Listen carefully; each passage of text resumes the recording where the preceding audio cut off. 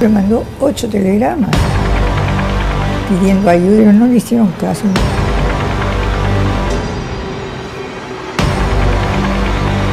No había nada que hacer.